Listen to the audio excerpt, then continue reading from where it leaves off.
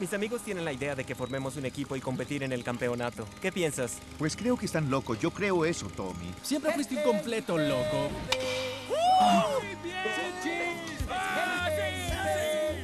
Quiero ser feliz de nuevo. Quiero sentirme como me siento cuando estoy contigo. Los hombres de Marksman, queriendo arreglar el pasado, encontró su corazón este jueves a las 20:30 horas en Noche de Cine por el 13.